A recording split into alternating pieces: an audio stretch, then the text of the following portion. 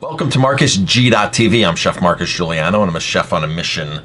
Today's mission is produce, organic versus conventional, how to remove pesticides off of conventional produce. So this is an article from Collective Evolution, March 29th, 2016, and it's talking about pesticides on your produce and how to get rid of them and some of the um, effects, side effects, lack of nutrients on conventional produce. It's a really good article. What's the difference between organically grown produce and non-organically grown produce? Well, according to the USDA, the Department of Agriculture, organic farms and processors must not use genetically modified ingredients. This means that organic farmers can't plant GMO seeds. An organic cow cannot eat GMO feed an organic soup producer can't use GMO ingredients, and so on. Farmers and processors must show that they aren't using GMOs and they are protecting their products from contact with prohibited substances from farm to table. In order for something to qualify as organic, it must also be free from synthetic materials like pesticides and antibiotics. Conventional foods obviously has none of these restrictions Food grown this way can be genetically modified, sprayed with pesticides, and injected with all sorts of things, antibiotics, whatever. So, and then it lists a couple of reference studies on how important it is to eat organically and the pesticide residues in your body versus people who don't, and weaning yourself off and how quick it takes. Um, that's really, really inspiring. People think that what they put in their mouth really doesn't affect them.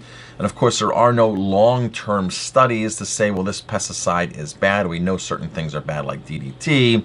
Um, but there's really no long term studies that are coming out and saying this is terrible for you. And that's for the fact of the matter of that it just takes humans so long to to uh, for generation to generation as opposed to rats and opposed to other lab animals such as rats. But there's plenty of studies out there about GMO foods in lab rats and pesticides and all that in lab animals. But what to do, what this really article is talking about, what to do if the pesticides are on your produce already. So here is what they recommend. How to remove pesticides from non-organically grown produce. Children today are sicker than they were a generation ago.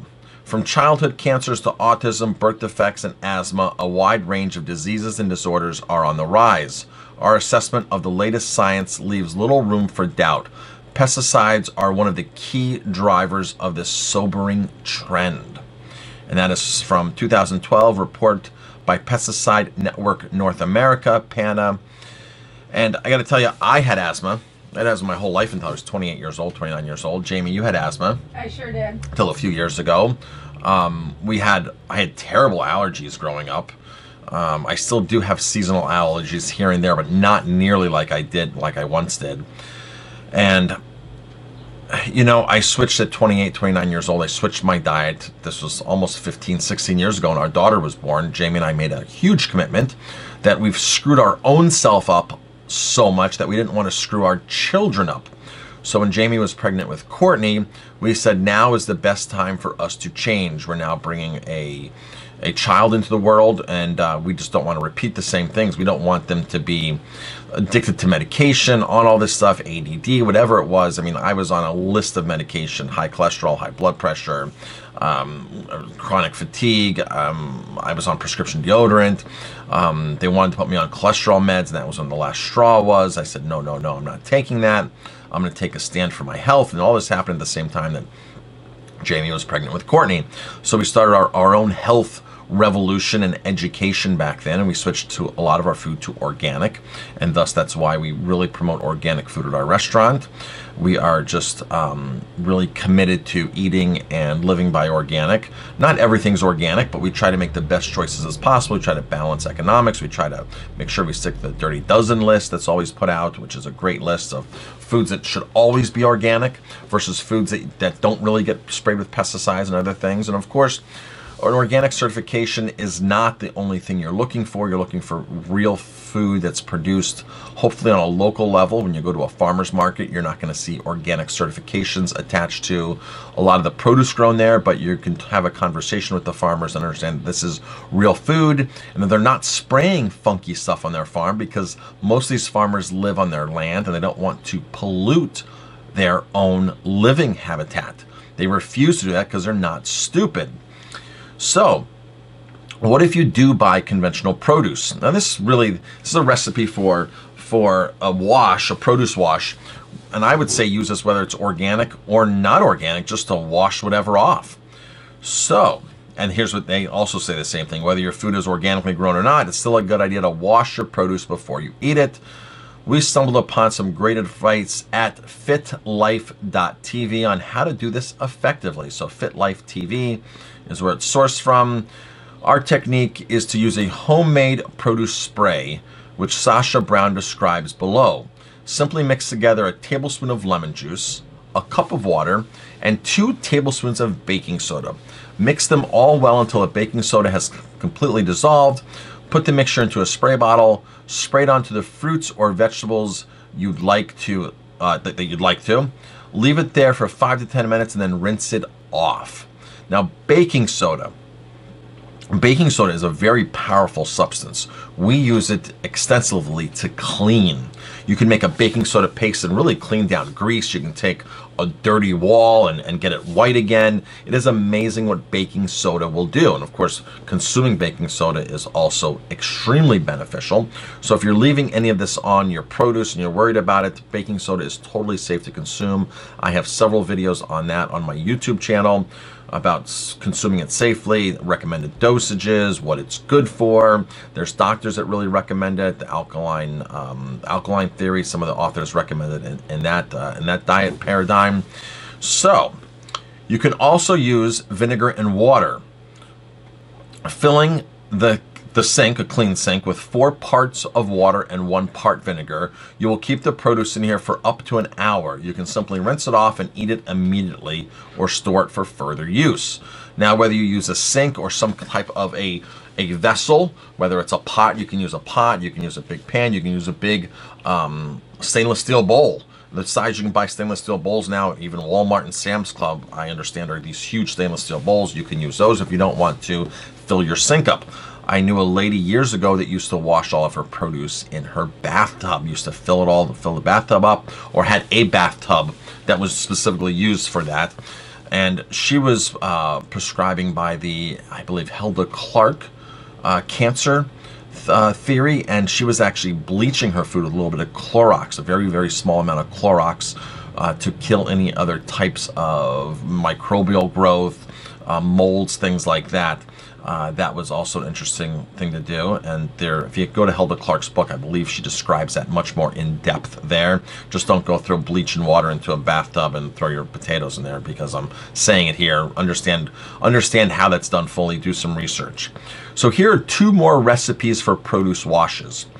20 drops of grapefruit seed extract available at a health food store, one tablespoon of baking soda, one cup of white vinegar, uh, one cup of water, and a brand new spray bottle. So that's one recipe. Here's the second recipe, a bit simpler, only three ingredients. One tablespoon of lemon juice, one tablespoon of white vinegar, one cup of water. Brown also mentions a couple of store-bought choices, of which one is certified kosher, uh, made with natural ingredients called Environine Fruit and Vegetable Wash and another is Bio BioClean, which contains lime peel and garlic, garlic grapefruit seed extracts. So there's a theme in all this. There's a theme of vinegar, some type of high acid. There's a theme of uh, high acid, uh, baking soda, which is very high alkaline, very good for you. And then there's also some citrus. So those are the three common, and of course water, those are the four common ingredients in here.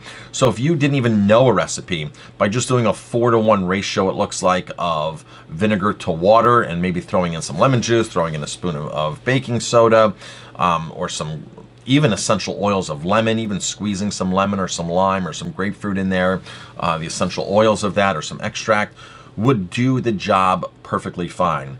Let your produce sit for five to 10 minutes, preferably.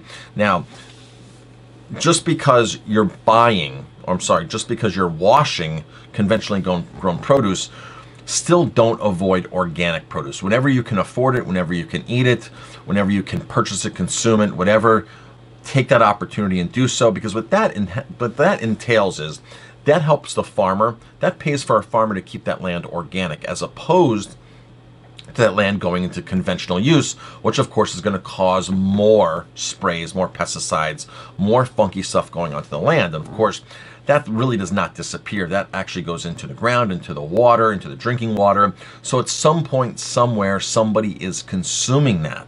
So just because you can adequately wash produce is not really a substitute for that.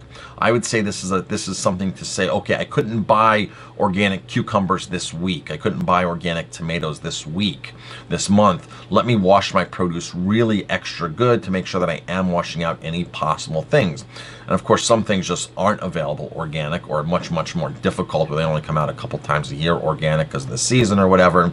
So, um, so don't avoid organic because you think you have this magical, powerful uh, pesticide buster that you're going to put onto your food.